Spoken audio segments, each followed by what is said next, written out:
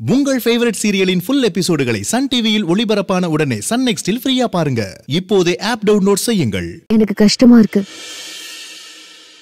என்னை விட அவ முக்கியமா போயிட்டாளா? விடணுமா ஒருவேளை பெத்த பொண்ணா இருந்திருந்தா உன்னை நல்லா பார்த்துருந்துருப்பாங்களோ என்னவோ. என்ன இருந்தாலும் நீ வளர்த்த பொண்ணு தானே அதனால அவங்களுக்கு சுந்தரி மேல அந்த பாசம் வந்திருக்கும். விடு. இது உன்னை வளர்த்தப்ப வந்த பாசம் தானே. அது மாதிரி சுந்தரியை பார்த்த உடனே கேரக்டர் பிடிச்சி போய் அதே பாசம் வந்திருக்கும். அந்த வார்த்தை மட்டும் சொல்லாத கார்த்திக். என் மம்மிக்கும் எனக்கும் ஆயிரம் பிரச்சனை இருக்கலாம்.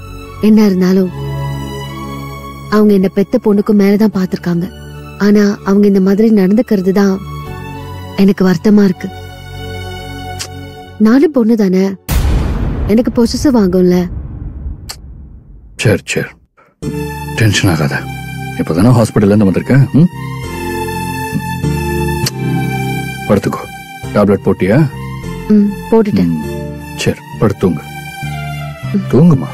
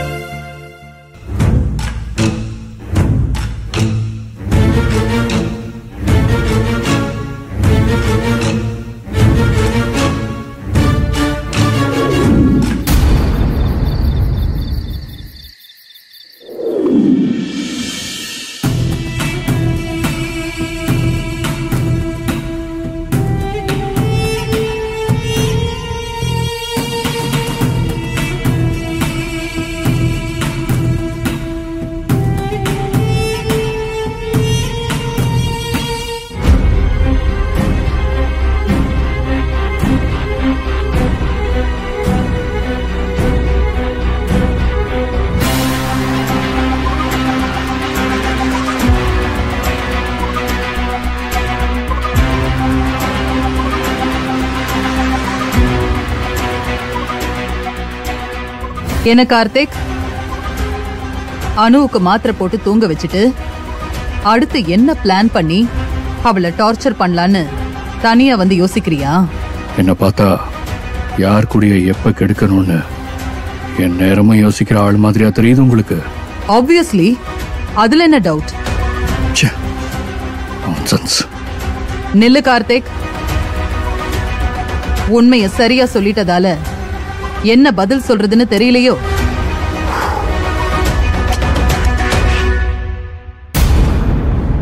இப்ப எதுக்கு தேவையில்லாம என்கிட்ட வந்து வம்ப பண்றீங்க? என்னது? நான் தேவையில்லாம வம்பு பண்றேனா? என் பொண்ணு லைஃப்குள்ள தேவையில்லாம வந்தது நீ. அதுவே தப்பு. அதுவும் ஏற்கனவே உனக்கு கல்யாணம் ஆனதை மறைச்சு என் பொண்ணை ஏமாத்துனது பெரிய தப்பு. அதுக்கும் மேல நீ ஒவ்வொரு நாளும் அவளை டார்ச்சர் பண்ற பாரு. அது அதுக்கும் மேல ரொம்ப பெரிய தப்பு. இதுக்கெல்லாம் உன்னை அப்படியே சும்மா விட்டுருவேன்னு நினைச்சியா கார்த்திக்? இப்ப உன்னால எவ்வளவு முடியுமோ ஆடு. ஆனா ஆட்டம் மாறும். காத்து தசை திரும்பும். அன்னைக்கு நான் ஆட போற கேம்ல ஒவ்வொரு நிமிஷமும் நீ கதறுவ. என்ன விட்டுருங்க விட்டுருங்கன்னு கெஞ்சுவேன் அப்ப இதே மாதிரி ஈவு இறக்கமே இல்லாம நானும் பதில் சொல்லுவேன் கார்த்திக். நான் உங்க காலை பிடிச்சு கெஞ்சி என் பக்கம் இருக்கிற நியாயத்தை சொன்னேன். அது எதுவுமே உங்க தலையில ஏறலையா? என்னது? நியாயமா. அன்னைக்கு நீ சொன்ன எல்லாமே நீ பண்ண தப்புக்கான காரணம். அதுல நியாயம் எங்க இருக்கு? உங்கள்கிட்ட பேசி எந்த பிரயோஜனமும் இல்ல. ம் போ போ. இப்ப பேச உங்ககிட்ட விஷயம் இருக்காது. ஏன்னா இன்னைக்கு நீ நினைச்சத நடத்திருக்கல அந்த ஆணவும் திமிரு. அணுவுக்கும் சுந்தரிக்கும் நடுவுல பிரச்சனையை உண்டாக்கி ரெண்டு பேரையும் பிரிச்சு வச்சிட்டல இப்ப உனக்கு ரொம்ப சந்தோஷமா இருக்குமே. ஆனா உன் சந்தோஷம் ரொம்ப நாளைக்கு நீடிக்காது கார்த்திக். அதை எப்படி உடைக்கிறதுன்னு எனக்கு நல்லாவே தெரியும். உன்னோட நல்லவங்கிற முகமூடிய எப்படி கிழிச்சு தூக்கி எறியணும்னு எனக்கு தெரியும். இந்த பாருங்க நீங்க என்னை பத்தி என்ன வேணா நினைச்சுக்கோங்க. ஐ டோன்ட் கேர் என் பொண்டாட்டி அணு என்ன நினைக்கிறாங்கிறது தான் எனக்கு முக்கியம்.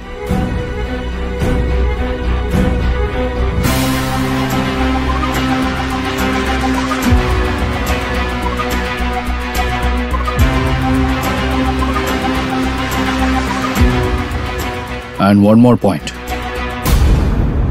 நல்லவன்றது என் முகமூடி இல்ல.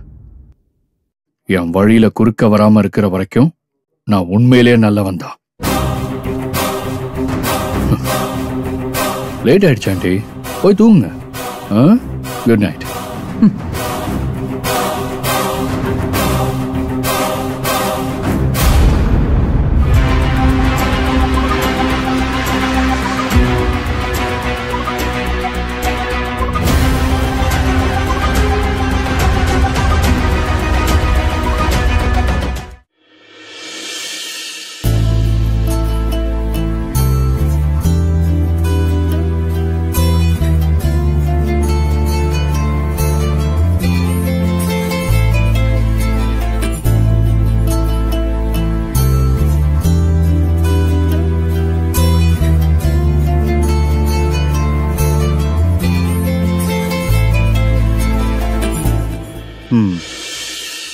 கதை கெட்டுச்சு போ.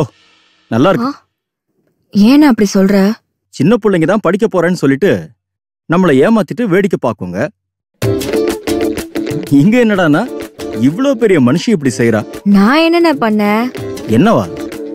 படிக்கிற மாதிரி உட்காந்து போஸ் கொடுத்துக்கிட்டு நீ கனவு கண்டுட்டு தானே இருந்த? முன்ன பின்ன மழை காய்ச்சும் பள்ளிக்கூடம் பக்கம் ஒதுங்கி இருந்தா படிப்பு வாசனை தெரிஞ்சிருக்கும். படிக்கிறதுனா என்ன? பொறவத மனசுக்குள்ள ஓட்டி பாக்குறதுனா என்னன்னு புரிஞ்சிருக்கும். விடுன இதெல்லாம் உனக்கு புரியாது.